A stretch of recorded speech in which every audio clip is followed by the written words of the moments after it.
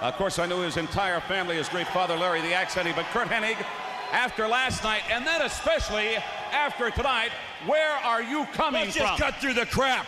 I heard Page out here earlier talking about how much he has in common with me. He's got nothing in common with me. Let me tell you about Page.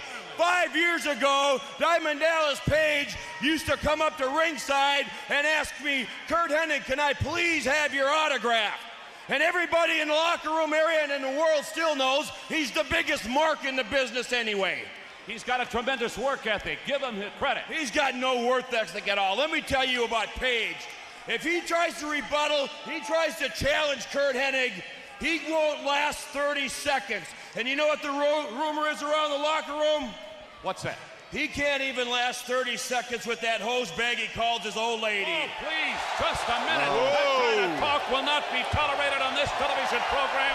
If I, hey, hey, hey, wait a minute, finish your boy.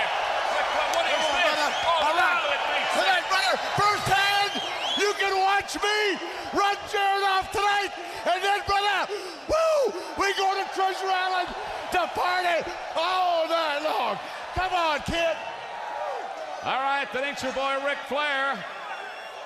Apparently making some kind of an overture to Curt Hennig to be part of the Four Horsemen. He talked about Pleasure Island in neighboring Disney World, that there was something going on over there. I don't have a clue. It's Nitro. That's what we've come to expect from this this great television program. Don't go away. We've got more here on TNT.